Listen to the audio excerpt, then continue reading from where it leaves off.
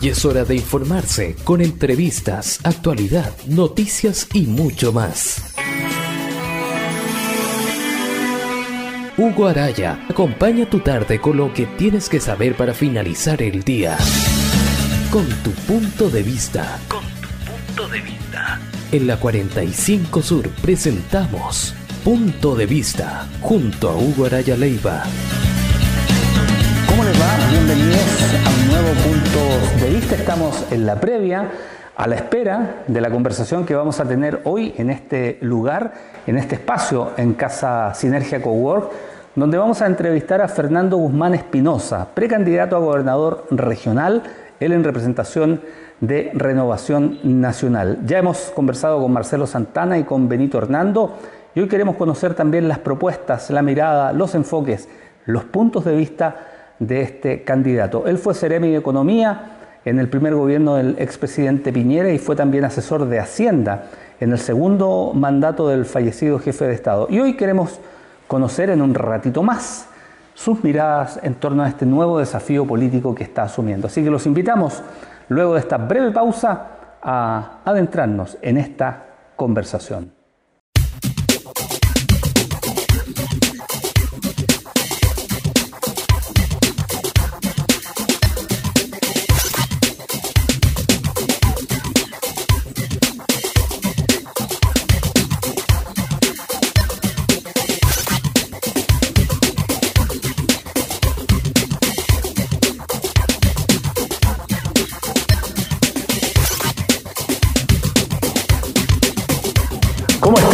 Bienvenidos a un nuevo Puntos de Vista, este programa de conversación a través de Radio 45 Sur, que en esta primera etapa del año 2024 se ha enfocado en conversar, en conocer las propuestas y fundamentalmente a quienes tienen la pretensión de transformarse en el futuro gobernador o gobernadora de la región de Aysén. Ya hemos conversado con Marcelo Santana Vargas, lo propio hicimos con Benito Hernando Sánchez y hoy cerramos el ciclo con Fernando Guzmán.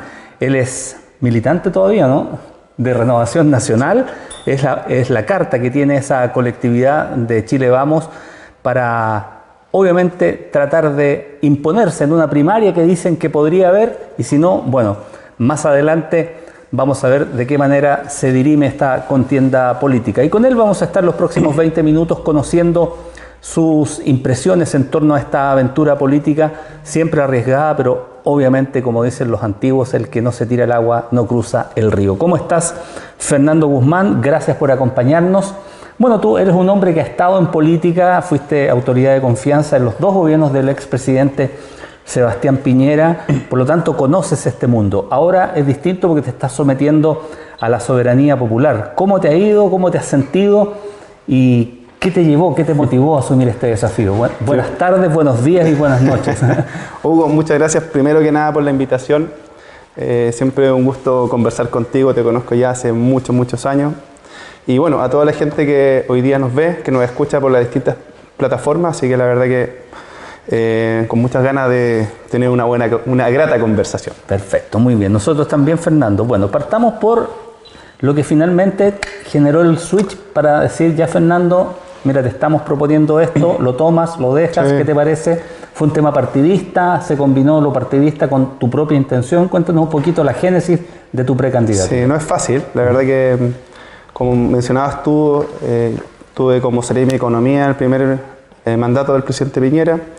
Eh, estuve trabajando también en el gobierno regional el, del segundo, segundo, tercer año del segundo mandato del presidente Piñera en el gobierno regional.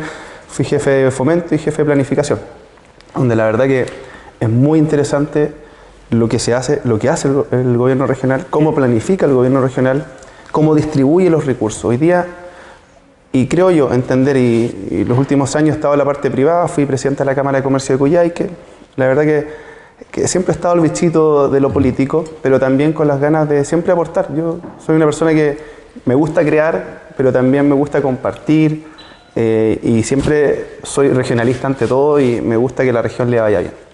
Entonces, por ahí pasa parte del bichito, el, en tener experiencia en lo privado como en lo público y también en lo gremial.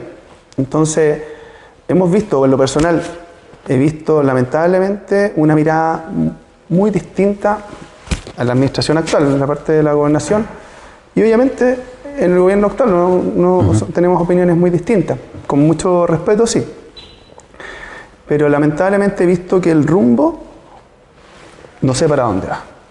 Y muy responsablemente en ese sentido he visto una falta de planificación a mediano o largo plazo. Y eso lo hemos visto, bueno, no me quiero meter mucho en el tema, pero lo hemos visto en la baja ejecución presupuestaria que ya todos conocemos eh, en los últimos años. Yo creo que, no sé, si uno le pone nota al, gobierno actual, al gobierno regional, una nota roja, lamentablemente. Y eso, la verdad, más que, los, más que el porcentaje de ejecución o ejecución, es cómo se han distribuido los recursos. Yo creo que ese es el gran punto. Uno eh, escucha de la ejecución, yo la verdad que ni siquiera es un tema, o sea, por tercer año consecutivo ser los, los penúltimos del país, la verdad que no da ni siquiera para análisis, sino que el análisis que yo creo que hay que hoy día ver es dónde se focalizan los recursos, cómo se focalizan los recursos, y yo creo que ahí hay una mirada muy opuesta a la administración actual. O sea, mi mirada en lo personal es muy distinta. Donde hoy día, lamentablemente, la región siempre hablamos del 70-30, 80-20, que es lo que aporta una, la región de AICEM versus la parte privada. En ese sentido, bueno, yo digo, ¿hasta cuándo? ¿Hasta cuándo vamos a tener ese discurso? ¿Vamos a tener una mirada de que siempre el Estado va a tener que hacerse cargo de todo? ¿O bien nosotros los privados también ponemos de nuestra parte y trabajamos en conjunto con la administración? Hoy día, mira, salió un inserto por parte de los gremios. Claro. Donde no fueron invitados al PETCHE, Programa Especial de Desarrollo de Zonas Extremas, ¿Cómo? ¿Cómo vamos a construir una política pública de desarrollo? Sin el mundo privado. Sin el mundo privado, pues este el mundo al revés, Hugo. Es el mundo al revés. O sea, eso es lo personal que me arraya. Y eso es lo que yo quiero cambiar. Perfecto. Deduzco de tus palabras que hay un tema de gestión. ¿Tú esa gestión la focalizas o la personalizas solo en la figura de la gobernadora regional o es la estructura hoy día, entiéndase gobierno regional y sus distintas unidades, más los sectores, vale decir, los grandes eh, receptores de recursos, el MOB, salud, vivienda, los que no han logrado cuajar en esta alianza de cómo gastamos bien la plata, cómo focalizamos bien los, dineros, ¿va por ambos lados la crítica o, tiene que ver más bien con otra cosa? O sea, mi crítica voy a tratar de ser lo más constructivo posible en ese sentido. O sea, yo estoy hoy día aspirando como precandidato a gobernador a estar como líder, como líder, y esto es una palabra yo creo que Esperábamos hace tres años atrás cuando fue la elección del gobernador regional. Y cuando se dividió esto, cuando se crea la figura del gobernador regional, uno, uno esperaba no solamente tener una autonomía como región, una voz, sino que un líder, líder que hoy día nos represente, cosa que hoy día no lo veo. Veo un administrador, un gobernador, pero que tiene otro enfoque, no de líder. lo vimos en la votación EMCO. O sea, cuando hablamos de un líder es una persona que protege a su pueblo que protege y respeta a las comunidades. Entonces, cuando no entiendes que ser un líder representa más que tu gobierno regional, sino que es la comunicación con los distintos actores, mundo social, el mundo público, el mundo privado, o sea, construir o tratar de construir una política pública sin el sector, la mirada del sector privado, que es al final el que da empleo. Es un suicidio político eso. la verdad que yo por, por eso te digo, yo no sé, o sea, no sé si da para análisis. Yo creo que esta administración ya fue, nota roja. Tenemos que tener una mirada en conjunto como región. El gobernador tiene que ser un líder que nos lleve, que nos lleve al desarrollo, una planificación no a, cuatro años, a ocho, a doce. Que trabajemos con los sectores, distintos sectores productivos, con la, parte social, con los dirigentes y con los mismos sectores públicos. Si la, claro. Hay que reconocer, hay sectores que lo han hecho muy bien, o sea, el tema de vivienda, muy bien. Y ahí uno tiene también descansa, me imagino, en, políticas públicas que hoy día hay ministerios que avanzan correctamente. Por ejemplo, yo en lo personal, yo aumentaría el presupuesto para el revestimiento térmico, porque lo he visto, andado dejando los pies en la calle, la verdad, y las casas que hoy día tienen este cambio con el revestimiento térmico es tremendo. O sea, les cambia la vida a la gente. Y no solamente eso, genera un montón de empleo. Hoy día son muchos más los emprendedores que se han atrevido a ser prestadores de servicios en el tema de revestimiento térmico. Yo creo que hoy día podemos hacer una apuesta grande ahí, porque aparte reactivamos la, construcción, empleo. Se ayuda a descontaminar, claro. Se ayuda a descontaminar, la gente le cambia la vida dentro de las casas. Sin duda cambia. Eso yo creo que es una de las políticas más potentes que he visto en los últimos años. Tú dijiste algo que es clave cuando uno asume una aventura política, Fernando, dejar los pies en la calle, estar en terreno, tomar contacto con la gente, no estar en una burbuja y solamente escuchar lo que pasa en la calle. En ese trabajo de terreno, si te apuro y me tienes que priorizar tres grandes anhelos de la gente, ¿cuáles son hoy día? Uf. ¿Qué es lo que más le preocupa a la gente? A ver, de los que más en lo personal me, ha llamado y me ha dolido, el tema salud. Tremendo, o sea, eh, me han invitado, entrado a un montón de casas a tomar mate, que me han visto en redes sociales, pero la verdad que eh, las realidades dentro cambian mucho. Ya, y ahí yo creo que hay un tremendo desafío. Y eso no depende de la gobernación directamente, ¿eh? estos son temas ya más de gobierno. Si yo creo que lo que hoy día, cuando yo te hablo de un líder, es que conecte con los servicios públicos, independientemente del gobierno que esté de turno. Aquí el, gobernador tiene un presupuesto asignado todos los años y yo creo que tiene que conectar con las necesidades más urgentes, independiente de las miradas políticas. Empatizar con. Empatizar, exactamente. O sea, no puede haber un sesgo político. Aquí tenemos que tener una mirada región. O sea, el tema salud, la verdad que es preocupante. O sea, la descoordinación que hay, yo no le echo la culpa a alguien, yo creo que ahí hay mucho por hacer, hay mucho por hacer, pero eh, he visto gente que viene de Aysén, que no le avisan su hora, pierde todo el día tiempo, plata, y vuelve a Aysén. Sin atención. O sea, cuando lo vimos en pandemia, y uno de los temas, ¿te acuerdas que había lo que es el ELIAM hoy en día, donde están los adultos mayores? Era como una central telefónica, donde se coordinaba todo. ¿Qué pasó con eso? Yo creo que ahí deberíamos ver, hay experiencia, hay gente capacitada que trabajó, que fue, fue desvinculada en su momento, claro. que tiene tremenda experiencia de coordinar. Los honorarios COVID famosos. Famoso, pero la verdad, yo me saco el sombrero porque yo creo que eso es uno de los puntos que hoy día necesitamos, la coordinación. Cuando hablamos de lista espera, ya. cuando hablamos de lista espera, bueno, de espera, podemos hacer un montón de estrategias, pero la coordinación claro. Es tremenda. hay que decirle a la señora Juanita tal día y hay que planificar logísticamente que ese día esté y que la hora efectivamente esté dada y el médico no esté con licencia. El, hospital de Aysén no es de alta complejidad, entonces mm. mucha gente tiene que venir a Coyhaique. Claro. el especialista está en Coyhaique. Mm. Yo estoy hablando de, de Aysén, pero también en localidades, en otras ciudades de la, de la región. El ánimo respecto a la economía, ¿cómo lo ves? Y al trabajo, que son también dos indicadores súper sensibles. Cuando falta la plata, cuando falta la pega, ¿se nota el tiro en las casas? ¿Te lo manifiesta la gente igual o no hay tanta preocupación por eso? Mira, uno de los temas que me preguntaste recién fue el que me llamó también el, motivo de estar acá. Y entendiendo cómo funciona el tema público, es hoy día cómo se están distribuyendo los recursos públicos. Entonces, cuando tú tienes una economía internacional con problemas, una economía nacional con problemas, con alta inflación, con alto desempleo, y nosotros tenemos un gobierno regional con un presupuesto que no nos dicen de Santiago cómo gastarlo, sino que se ve acá. Y para eso hay también un consejo, hay un, gobernador. Uno asumiría una estrategia distinta, ¿o no? Claro, es tu plata en el fondo. Exacto. Tú, ves como la... Si yo veo que el país, el, mundo está eh, eh, económicamente mal, y yo, obviamente, no, no, es la excepción, no somos la excepción, bueno, ¿qué medidas tomo? Entonces, si yo tengo un presupuesto a nivel regional, bueno, priorizo hago que esas platas queden acá para inyectarle más recursos a la, comunidad y que haya mayor empleo, mayor dinamismo. El circulante que le llama el comerciante. Exacto. Entonces, cuando vemos una, una administración que parte de su super estrategia económica es invertir los recursos fuera de la región, en compra de maquinaria, un montón de cosas. La verdad que yo en lo personal no es lo correcto. No es el momento, no digo que esté mal, pero no es el momento son estrategias y miradas distintas de cómo ayudar una economía. Perfecto. En el ámbito de los terrenos también, eh, generalmente quienes se desplazan fuera de Coyhaique por los caminos de la región se quejan del mal estado de los caminos. Hoy día uno puede ver muchos videos circulando en redes sociales que dan cuenta de esto. El presidente Boris prometió hace poco más de un año eh, un plan de conectividad bien ambicioso. ¿Tú en lo personal crees que eso se va no concretar, yo creo que de, verdad no se va a concretar en este mandato, pero ¿se va a dejar por lo menos bien avanzado o está complejo? O sea, uno como Patagón obviamente que espera eso, que se concrete. Si al final es, mejor calidad de vida para todos, el tema de conectividad, en temas de empleo, dinamismo, el comercio se reactiva, los hoteles, la gastronomía, en fin, todos ganan.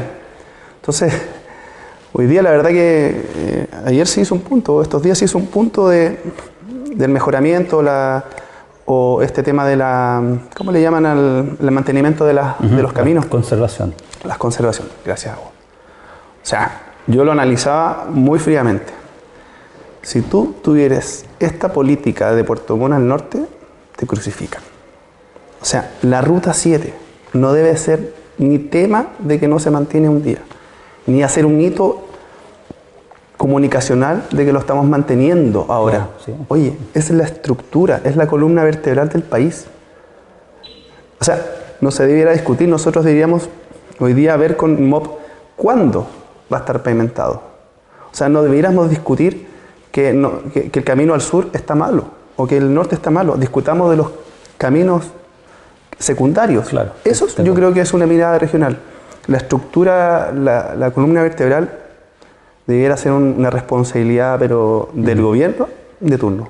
Te llevo a otro tema, Fernando. Tú, eh, tal cual los otros representantes de tu sector, vienes del mundo privado, eh, has estado vinculado al comercio y al turismo y se acaba de conformar una mesa público-privada precisamente para eh, definir de manera conjunta, si es que se puede, medidas que apunten o que faciliten la reactivación económica.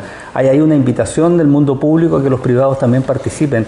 Pero ¿qué le falta a esta, a esta cohesión? Mucha mesa por aquí, mesa por allá, pero de repente no se ven acciones. ¿Compartes ese criterio de que hay mucha conversación pero poca acción para poder poner en marcha estas medidas que son transversales, efectivamente, ni de la derecha, ni de la izquierda, ni del centro. El reactivarse económicamente es algo que lo favorece a todos, pero ¿cómo se pasa de la teoría a la acción? Ahí está complejo, ¿no? Conversando, Hugo. Primero que nada, y lo vimos con este inserto de la Cámara de Comercio. O sea, mil la... ser invitado en el fondo. Pero obvio, o sea, eh, sin diálogo no hay avance absolutamente en nada. Mira, yo voy a mencionar Zona Franca. Primer año del presidente Piñera se modifica la ley después del movimiento social, donde muchos dirigentes dieron casi su vida en Aysén sobre todo. Ahí está muchos dirigentes de pesca, el Pato Tureo, Don Rigo, Don Dago. Misael Ruiz. Eh, es, que ellos, los que estoy nombrando ya no, están con nosotros. Ah, ya no están. El mismo exalcalde catalán, que en sus pies de firma en, en los correos electrónicos firmaba como zona franca ahora. Entonces, después de 11 años.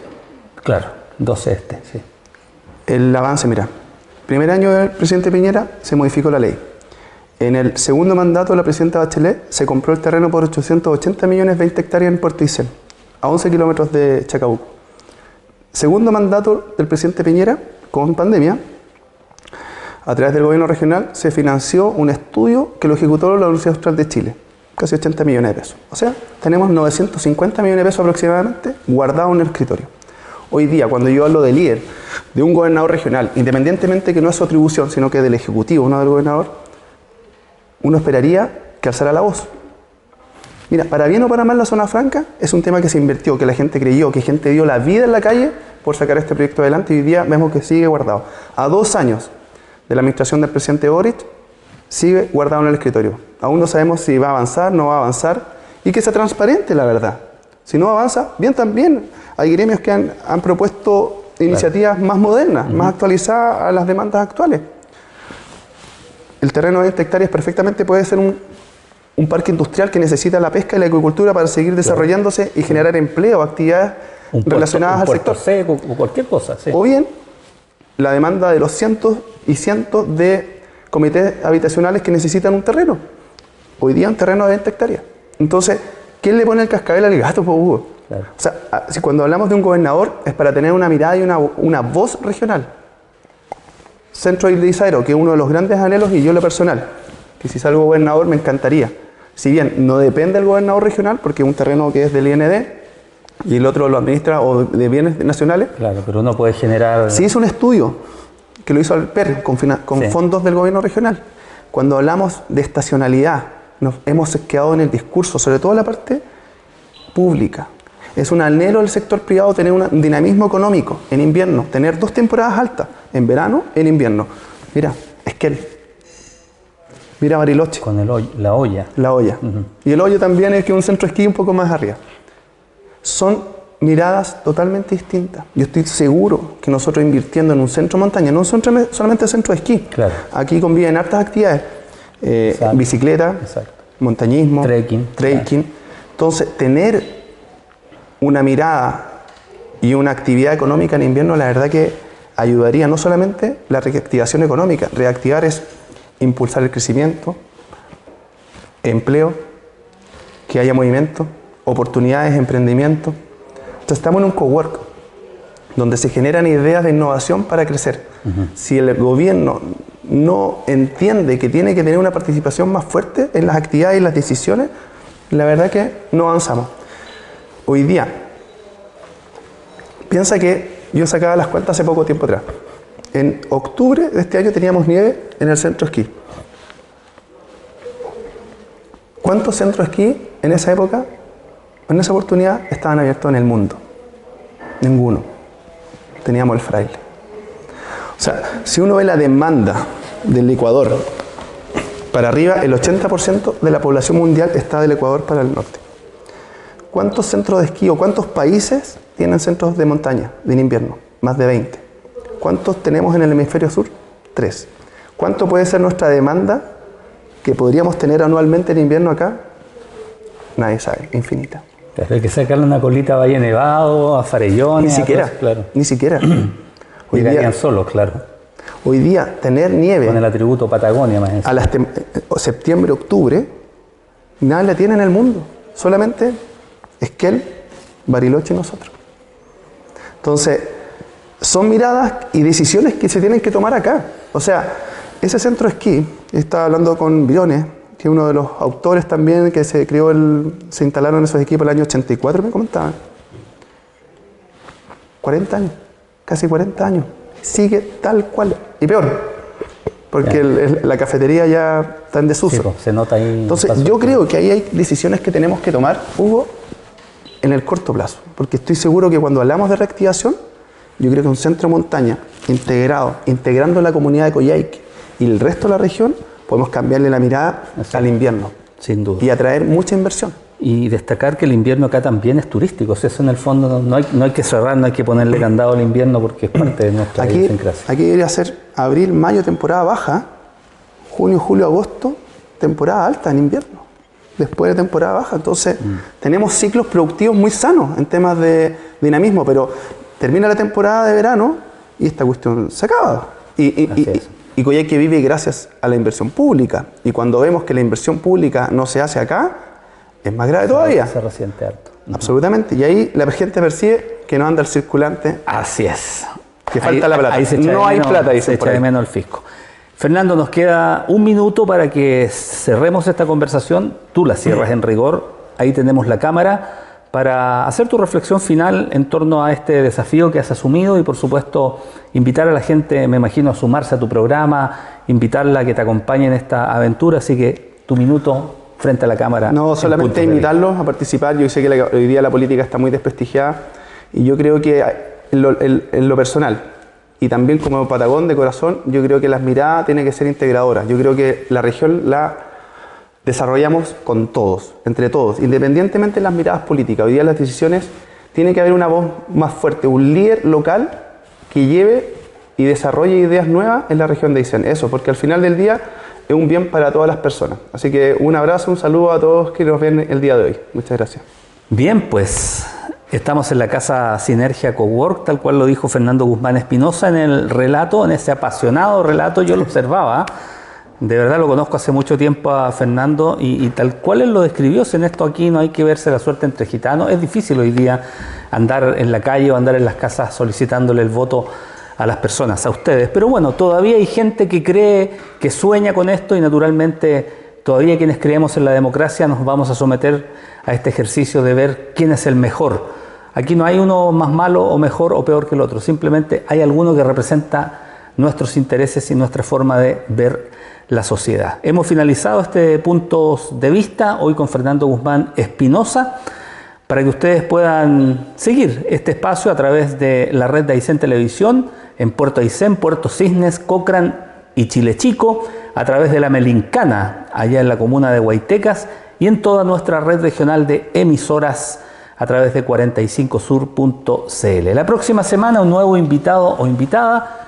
Saludos a Santino, el hijito de un año y tres meses que tiene Fernando. Otra cosa que le ha cambiado también, pues antes era, era un soltero sin hijos. Hoy día es un, es un padre con un hijo maravilloso que siempre lo acompaña cuando puede y, lo pueden ver ustedes en redes sociales. Nos vamos, nos despedimos. Muchas gracias por acompañarnos. El próximo viernes nos reencontramos en este mismo lugar con otro interesante invitado o invitada. Hasta entonces.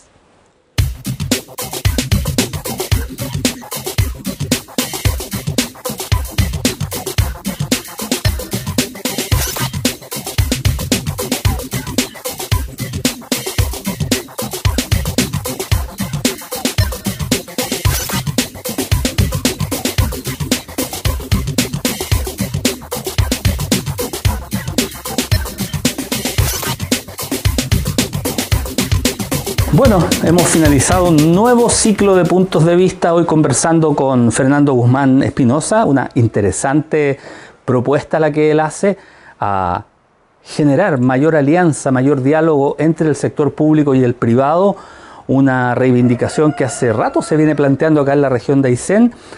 No vemos todavía alguien que recoge ese guante, así que es un desafío para los próximos eh, precandidatos o candidatos que vayan a pasar por nuestro programa para ver de qué manera se puede generar un nuevo paradigma en torno a esta relación entre el mundo público y el sector privado. Ha sido una interesante conversación, lo reiteramos, que esperamos seguir sosteniendo a futuro con quienes pretenden transformarse en gobernador o gobernadora regional. El próximo viernes nos reencontramos a través de Aysén Televisión y de nuestra red regional de emisoras en otros puntos de vista y por supuesto también a través de La Melincana allá en la comuna de Huaytecas. Muchas gracias y hasta la próxima semana.